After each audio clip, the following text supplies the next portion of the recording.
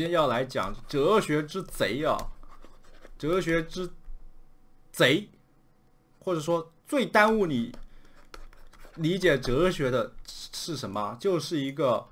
就是一个科学主义，科学主义的思想钢印啊。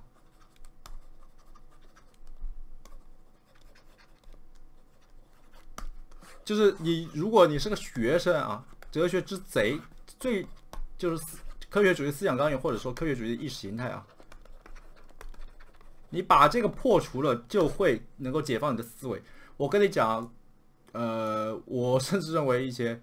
哎呀，就直接来吧。我靠，我没时间了，现在已经妈的快零点四十九了，我直接来说吧。这个东西就表现为一个矩阵，一个很致命的一个矩阵。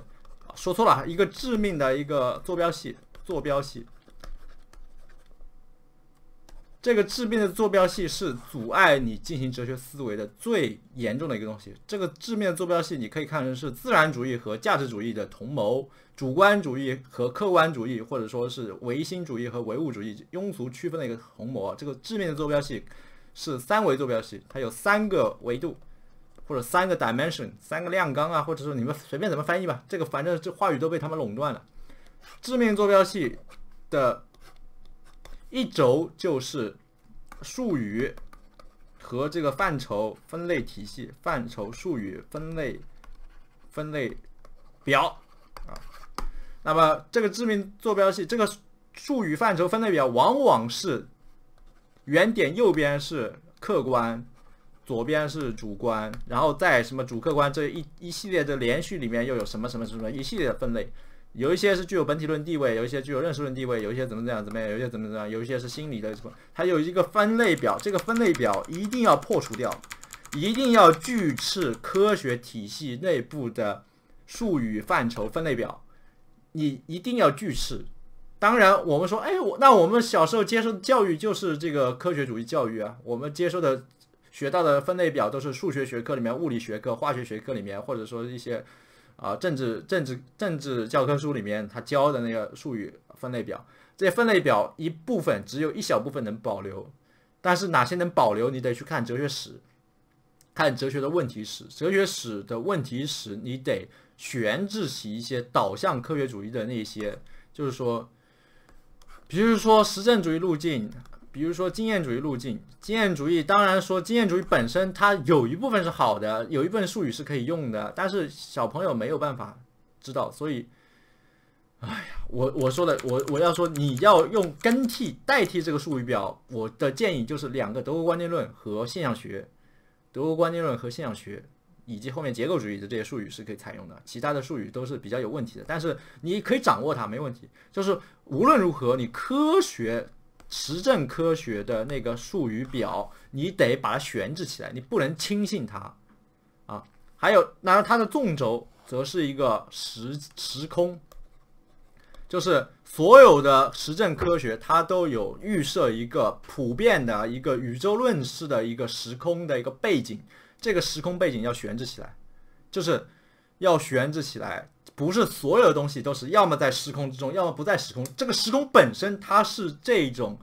科学主义思想纲领或者意识形态所架设的，是它所拟制的，是它在符号上拟制的。这个东西一定要，比如说有人就问了，身体有什么意义？很多人就立刻就把身体看成是这个在一个时空背景下的，在一个实在论的，或者是在这个宇宙当中屋子里面一个东西。按照一种实在论的或者这种自然主义的一种观点，它就是我的身体就是这个世界里面的一个东西，这种相互关系就被预设了，时间空间被当成一个背景性的场，时间是一个线性时间，沿流的不停的流动的一个线性时间，所有东西在一瞬间都在一块儿，在一个空间里面。然后相继在空间里面怎么怎么样，互相左右上下前后这样变动，动来动去。然后我的心灵世界是是在空间这个一个一个基点里面呢，是心灵世界是不在空间里面，或者我的心灵世界是架设在我的身体上的，我的身体是在这个世界里面。这种时空关系要悬置起来啊，这是哲学之贼啊！你不能把这个悬置起来的话，你根本不能理解哲学对于时间性、对于空间性啊、对于身体性。对于主体性，对于客体性，客体性，对于这些在哲学上比较重要的论域，你没有办法设立问题意识，你的思维是被这个时空框架束缚住的、僵死的。你思考所有东西都是在时空里面一个一个时空化的一个 这个在几何学上的一个一个复多体、四维复多体时空三三维空间加一维时间。我靠！我顶多你再再复杂一点，这个数学上的一些一些再复杂一些构造，那些构造通通都要悬置起来。也就是说，你要学哲学，我讲的非常残酷的一件事：整个形式逻辑、学哲学、形式逻辑、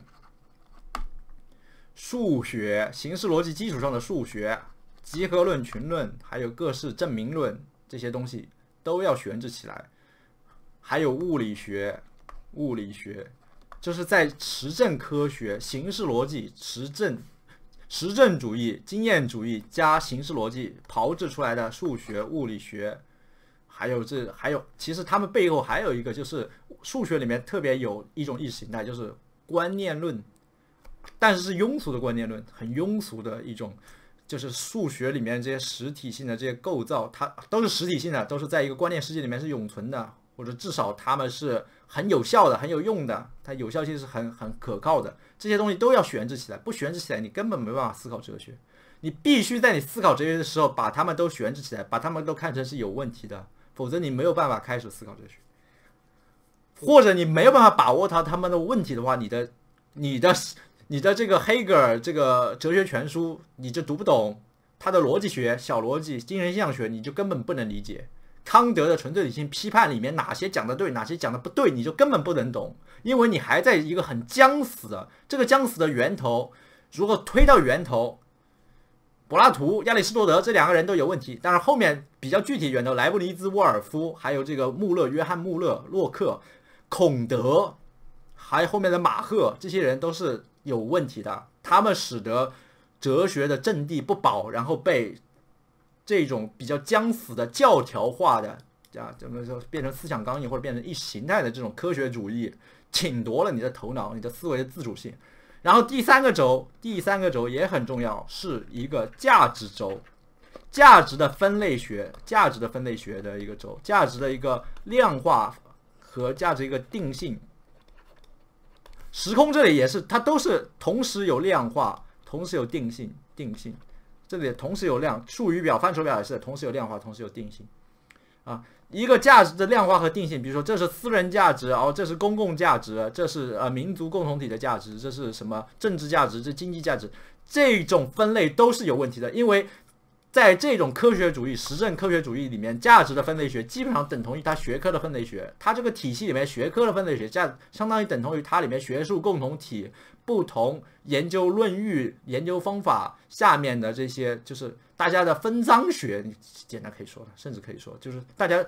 分的不是直接钱啊，分的是话语权，分的是一些现实利益、影响力、文化影响力。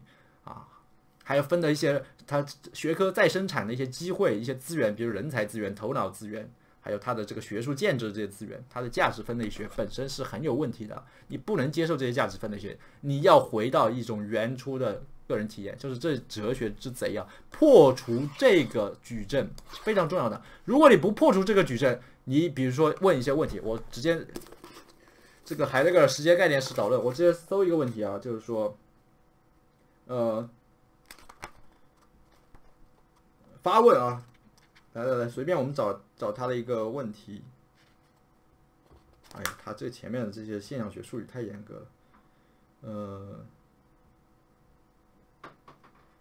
随便找一个问题啊，就是，哎呀，呃，你们可以反思一下我刚刚讲的那些东西啊，你可以反思一下讲我刚刚讲的那些东西。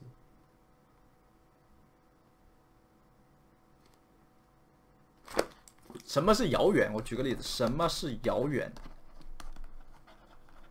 遥远，What is far？什么是或者说 farthest？farthest？什么是遥远？遥远性？什么是遥远？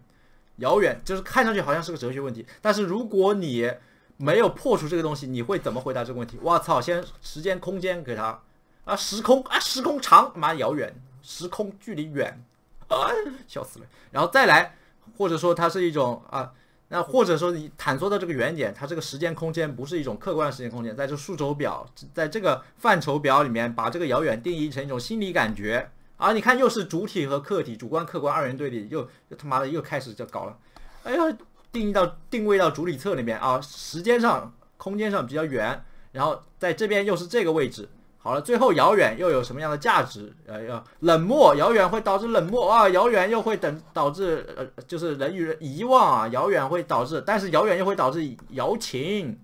啊，然后这是价值上面又有一个特殊的一种什么样的文化价值，又给它定位一个点，文化价值，我操，随便就是，呃，可能是这个点，那么我给它就找一下，最后就找到在这个位置找到一个点，或者这个遥远，什么是遥远这个问题？就会变成遥远，就可能定位不止定位一个点啊，遥远可能定位好几个点啊。可是，在范畴上面，它可以遥远，还可以定位成是什么？就是说一种心理感觉啊，心理感觉，还有一种空间，空间的一种丈量数啊。它就是它无论如何，最后比如说最后就画出一个图形出来，或者画出一一个框出来，那么这就限定你的问题域，限定你的思维，你的思维就被限定在这个矩阵里面的一一个局部了。然后你的思维很僵死啊，就是这么一个，不是矩阵啊，说错了，这个坐标系里面这个图案一个图形，你的整个的问题意识都是被这个问题图式给束缚着，你没有办法探索哲学的，你得你得到的东西都是一堆屁用没有的一堆这个这个符号串而已，没有用的一堆很没有用的一个术语术语串，加上时空的函数参数。变量还加上价值的一些变量，一些分类，就你归根结底你就得到分类学加定性，加上一个就是一个分类的一个谱，加一个定性的几个点，再加上一个它量上的一个量，集合到一块去，就变成这个问题的答案。这他妈是答案吗？这根本不是答案。这而且这种问题，你去思考这种问题的时候，你就会把它把握成是是这个。坐标系里面的一个图像，一个图示，它没有任何的思辨价值，它没有任何思辨。真正的哲学思辨，它是要，它是要不停的结构出新的新的一个场，不停的结构出新的一种运动，超出这种什么四维空间化的这种这种这种领会的，远远超出这个而言，远远超出，因为生命的结构、意义的结构啊，这个生存的结构比它复杂不知道多少倍，在。在各种，而且这是一种图像化的把握，图示化的把握，就就是他们没有意识到实证主义、经验主义，还有那些马，就是新康德主义，后面包括那种不真诚的新黑新黑格尔主义那些人啊，分析哲学、逻辑实证主义那些人，他没有意识到，他其实就使得整个人类的智性活动失去了尊严，变成了一个框架下面的一个待描述之物、带归类之物。带量化、带衡量之物、带测量之物、带决定、带被定义之物，那就很挫。有些人就说：“哎，这不就是定义吗？我不就是定义了这个遥远吗？”这种定义活动是最可悲、最可耻的，是最背叛思想的，是最背叛真正的哲学思维的，最背叛人的活生生的那种求知、好奇心。因为你凭什么有这个框架？你凭什么设立这个框架？凭什么凭空设立这个框？这个框架本身如何设立？要不要设立？什么情况下要设立？它设立有什么目的？设立有什么作用？有什么特定的、些微的小的作用？如果它总体而言是一种压迫性的，是一种啊，是一种糊弄人的、欺骗人的、欺骗性的，是一种临时性的，那它就应该被摧毁，就应该你不停的、时时刻刻的去思考，我应该如何去一种真正的一种问题意识、一种探索的一种姿态去面对语词、语词背后的生活、生活当中的意义、意义背后的。策略意义背后的姿态，意义背后的你对生命的信仰，带他的爱呀、热忱啊，或者说一种失望啊、绝望或者希望，什么都可以，不要是就是这么一个框架。这个框架太没有人性了，这个框架太僵死了，太可怕了，太恶心了。如果你还陷在这个框架里面思考哲学的话，你将一无所成，你将一事无成，你什么都不会得到，你只会得到失望，你只会得到自我封闭和压抑，你只只会得到。对于哲学的误解和和和和和和和愤恨，你以为人类的哲学就是只是这种东西？不是这样的，你只会对对生命继续采取一种鄙视的一种一种鄙夷的一种姿态，不是这样的。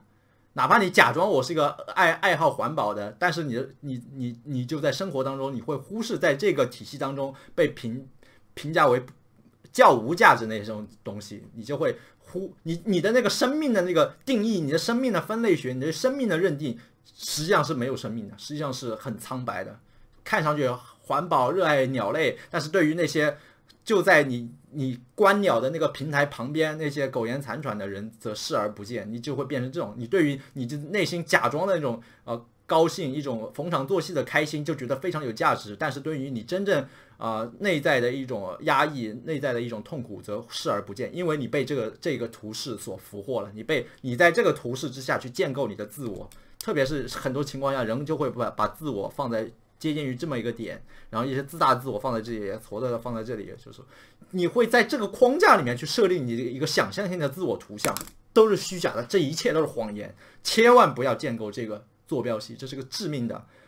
卑劣的，这是一个愚蠢的、很残酷。它奴役了几亿人口，上十数十亿人口。这东西在从十九世纪，从十九世纪开始发轫，在二十世纪达到顶端。这么这么多年，这从十人类人口总数十几亿到现在七八十亿，中间有很多人口都是受这个体系的一个束缚，非常糟糕。非常糟糕，海德格尔早就说了，这个东西是是是深渊，这是个深渊，它会俘获很多千千万万亿万的心灵，然后使他们丧失思思思想，丧失追求这个对于生命的最，我就不要去扯那些大话了吧，别烦了啊！但是这本身是个过程，本身是一个不可避免、不可绕过的一个环节啊。好的，那就讲到这里啊。好的，他一定他是一个哲学之贼啊！讲讲讲到这里啊，先挂了，拜拜。